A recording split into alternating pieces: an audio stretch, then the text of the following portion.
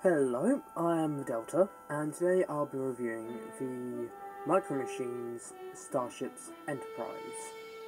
Uh, starting off with NCC 1701, then the Enterprise A, then the Enterprise B, then the Enterprise C, and then the Enterprise D. Now that's out of the way, let's move on to the review.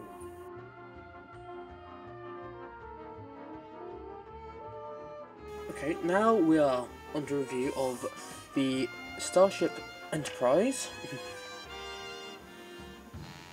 NCC 1701 Constitution class. Uh, 21 decks and a crew complement of 430 I think. Now um oh, the Enterprise itself is a very nice piece of my collection. Although the paint for the ram scoop seems to have actually gone to the actual nacelle structure, but uh, can't be can't have have everything. You can actually see the name and reg re registry of Enterprise here. And the uh, paint of Enterprise namely the um, little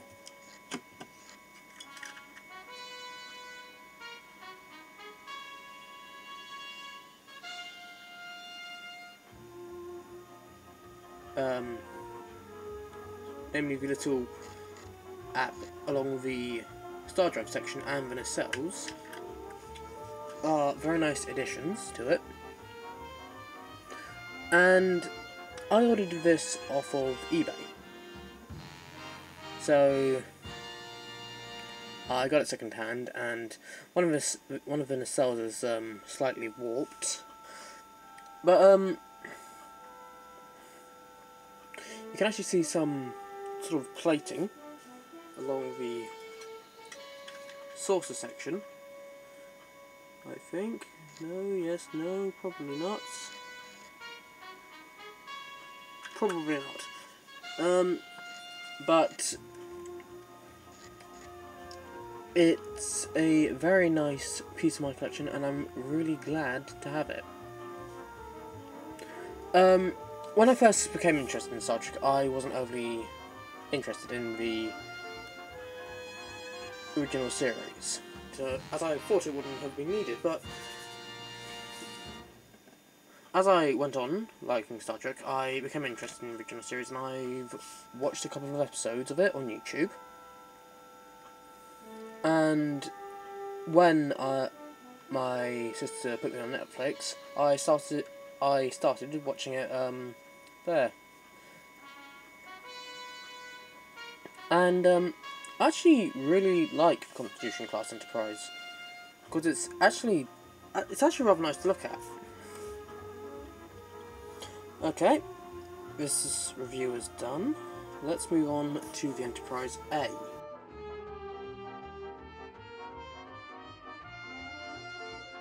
Here we go. The USS Enterprise A. Um, Constitution class refit. Um, again, 21 decks. Captained by James Tiberius Kirk. Until her decommissioning. Um, formerly the USS Yorktown.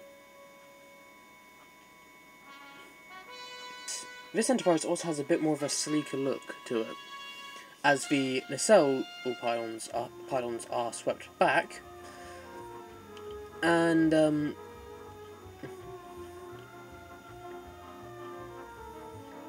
the neck is goes up then in um out. Um, unlike the other Enterprise, this is a blue colour, and if you look carefully, you can actually see the plating on the Enterprise. The nacelles are the entire thing is one solid solid piece with paint on it. If you look here, you can actually see the name and registry of Enterprise. Same as him on the underneath.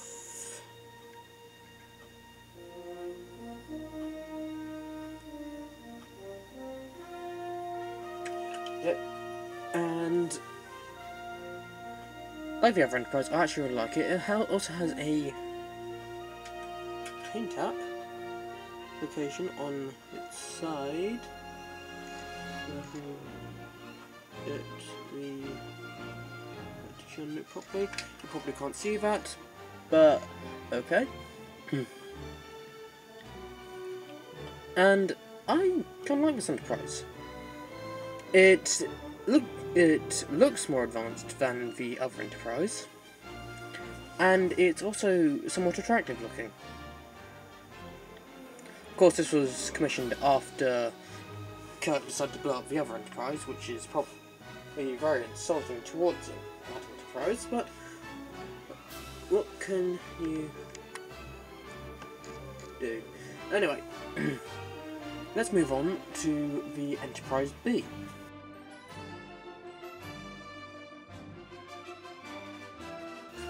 USS Enterprise B, Excelsior class, um, I think it has near or just over 30, 30 decks, I'm not sure. I don't actually know the um, deck number of the Excelsior class. Although,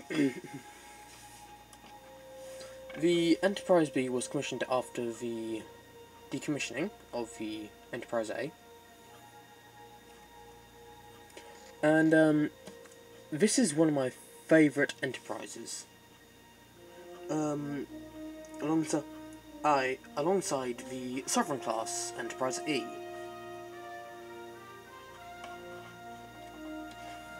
Um, again, uh, like the, the other two, I ordered it off eBay, so I got it second hand, but the nacelles, unlike the other two, are straight. or straightish. Um,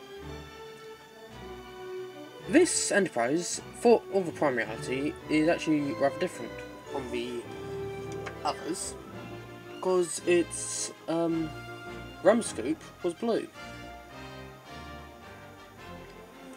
Um, you can see uh, at least two shuttle bays from the back, the thrusters, and whatever these are.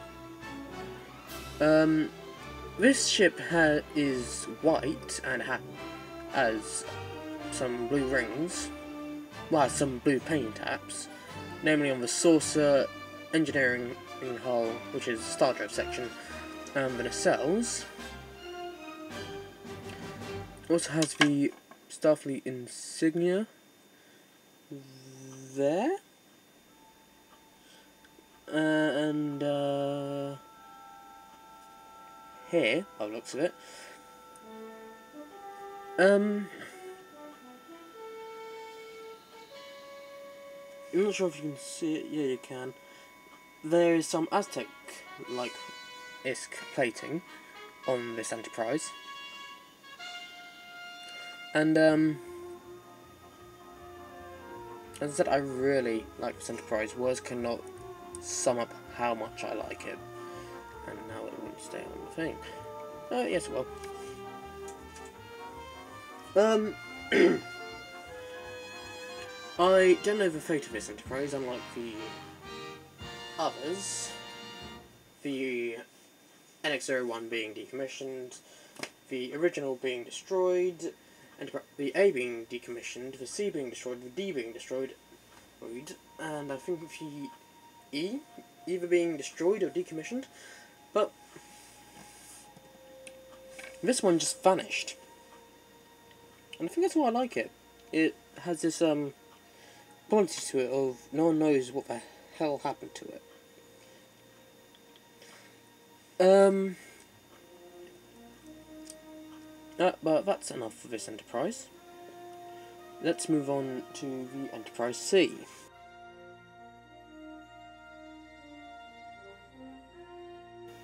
The USS Enterprise C, Ambassador class, um, slightly bigger than an Excelsior, slightly smaller than a Galaxy. That is all I can tell you, because I've no idea how many decks this has. Um, like the others, I bought it off eBay, and um, as you can see, the, nacelles are slightly warped and a bit wobbly for some reason. and you can actually see some Aztec like plating on the hull of the Enterprise C. And you can also see the name and registry here. Same on the other side, on the bottom of the saucer. Um, when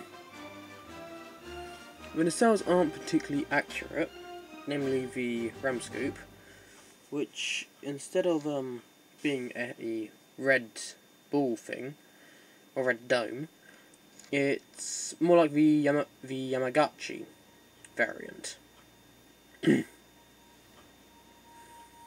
but, um,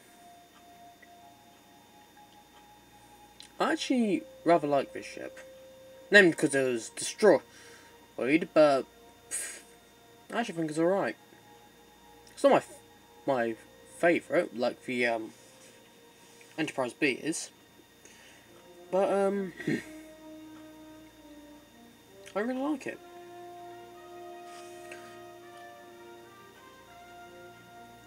The Aztec-like plating is all across the ship. The deflector, for some reason, is red. No idea why, and you probably can't see that, so let me help you. Eagle! Yeah, see, red. The phasers are pretty much the same as always. But other than that, it's a rather nice ship. Now, let's move on to the Enterprise D.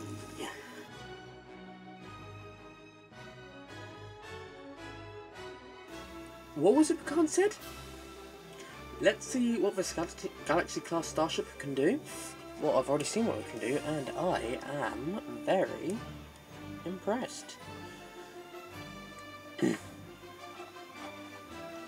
This is the Star Trek Generations version of the Enterprise D. Star Trek Generations being the one where the Enterprise D was destroyed, but um, I personally think the ship is rather accurate. The nacelles are really well done, as is the deflector, and the saucer separation is a very nice addition to it. I also like the phaser arrays, however, the name and registry of the ship aren't, aren't easily distinguishable, given the fact that they are very small. And it's the same for the other side of the saucer. Uh, there's an Aztec plating moulded into UV Enterprise, and it's all over the ship. But its cells are incredibly accurate. And the saucer separation is an incredibly nice addition. I've always wanted to. Right. I could fly the Enterprise down onto the surface of Veridian 3.